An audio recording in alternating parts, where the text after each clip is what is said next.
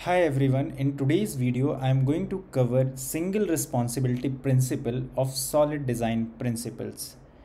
Also, we will understand why this principle is important by taking a code example. So, the first obvious question comes in your mind is what is solid principles?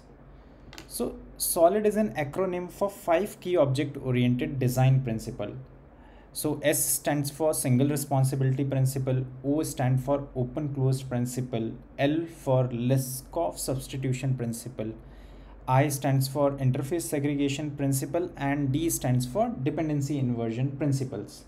So these principles help us to write clean and maintainable code and they are made popular by Robert C. Martin. So we will go through each of these principles so in this video, we mainly focus on single responsibility principle. So what is single responsibility principle? The single responsibility principle states that a class should have one and only one reason to change. Multiple reasons for change indicate a class has many responsibilities. A class that has many responsibilities is harder to maintain and also it increases the possibility of bugs. Seems overwhelming? Let's take an example to understand this principle. Let's start with the example where we are violating this principle. Suppose we have a user class where we have some business logic to create a user, right? So if you see this method create user, we have some business logic. Uh, suppose we have some business logic to create a user and after creating a user, we are persisting the user record, right? So in real scenario, uh, we save the user in some kind of database, either it's MySQL or NoSQL or whatever it is, but we save in a database. But here for simplicity, let's assume we are uh, persisting the record in a file so in save method we have some logic how we persist the user record.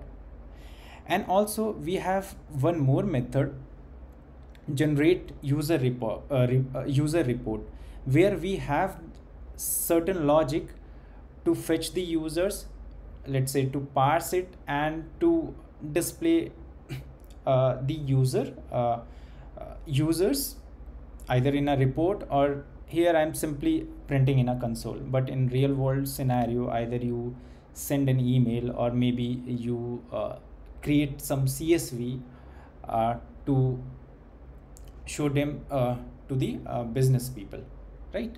So these are the three functionality uh, present in this class. And this is the constructor which uh, while creating an object we pass the phone number email and file path now let's see its main method. So in in main method uh, while creating a user object we pass phone number email and also the file path. So here i just pass the file name. I i'll save i'll create this uh, user.txt file where my code is uh, reside right?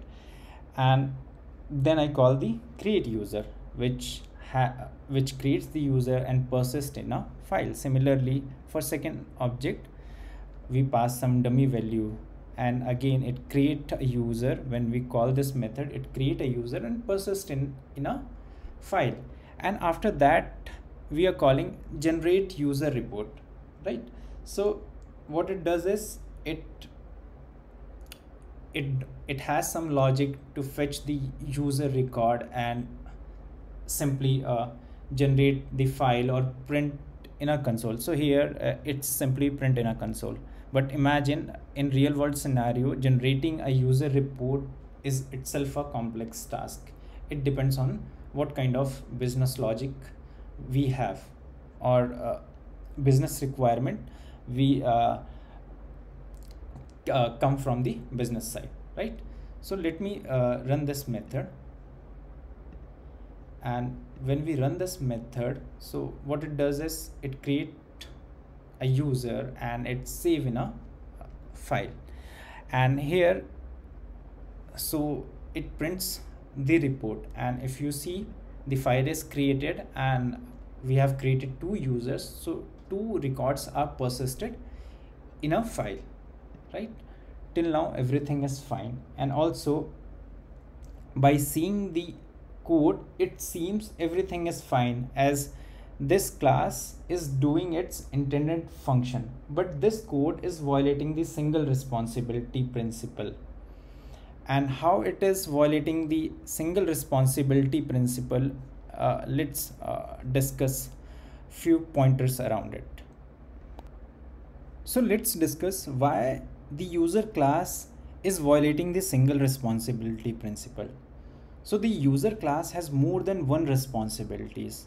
By seeing the code you know uh, it has uh, logic to create users the another logic to persist user detail and also it it generates the report. So it has more than one responsibility. Logic to create user is the intended behavior of this class. It should be fine. But knowing about the persistence and how to generate the report should not be part of this class why? Imagine tomorrow if there is any change in the logic of storing the data or generating the report, we have to modify the user class and also the user class sh should not have to bother about the persistence. Persisting simply means storing the data and reporting pa part. So it should focused or concerned about how to create the user, right? For uh, persisting the let's say persisting the record I mean it simply calls the persistence layer and the persistence layer has should be the uh, has the responsibility to persist the user data right? Similarly for reporting part the reporting logic should not be the part of user class. It should be part of some other i mean some user report class which has all the logic around how we have to show the report or how we have to send the report right? So let's refactor this code and let's see how we can uh, i mean modify our code to to adhere this principle to adhere the single responsibility principle. Let's discuss the refactored code in this code we have separate classes for user its persistence layer and its reporting part right? Each class is responsible for providing one functionality. So now the user class is only responsible for the business logic to create a user and for persisting the user record it simply calls the save method of user DAO class. And this user DAO class is responsible for persisting the data and also fetching the data from the storage uh, fr uh, from the storage part right? And while creating its object it only takes the file path because we are persisting the record in a file and also we are reading the records from a file. And this user while creating its object it has the dependency of user DAO because we are calling its method save we have delegated the functionality of persistence to this class user DAO and it is focused on providing this functionality. Similarly for reporting part uh, for generating the report we have another class which is user report. So it will fetch the data from the user DAO and when and now it's responsible for generating or sending the report. So let's see the main method. So first we have created the object of user DAO. Then uh, the first user is created the second one is created and then we have printed the report right? So let me run this code. So when when we run this code so we have created two users. So two users are persisted and its reports are printed. Its report is printed. And by seeing this uh, file you can clearly see uh, these are the two users right? So now the question comes is what's the advantage of this single responsibility right? What's the benefit of organizing this code? The obvious advantage is a class which have only one responsibilities are much easier to explain understand and implement. And also uh, uh, the chances of uh, bugs is minimized drastically. So let's say if this class is focused on creating user by seeing this code or i mean anyone can easily understand that uh, if i have to change anything around creating the logic of creating a user i have to go to this class right? If i have to change any uh, piece of code around generating a report i have to go to user report class right? And also in future if there comes a business requirement only we have to i mean uh, write our code only in this class. And we know we have made the changes in user report class and if uh, there comes any issue or bug we know we have to debug in this class. I mean uh, there is no issue at the user dao class or at user level right? And while writing the unit test cases also we have we know clearly what are the test cases what are the functionality we have to test. I mean it's very sim- simple and it's very easy to i mean implement or maintain. For maintainability purpose it's far easier to maintain as compared to our previous example in which in a single class we have all the responsibilities.